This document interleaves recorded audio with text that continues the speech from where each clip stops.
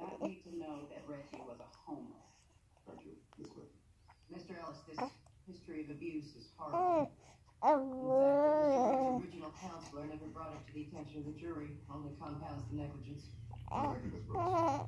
We have affidavits seven of the original jurors stating that had they known this history, they would not have sentenced Reggie Rhodes to death.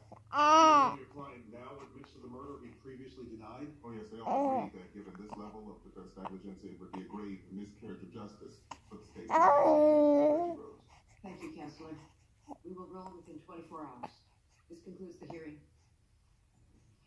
Good job, Alice. You brought up enough to get the case retried.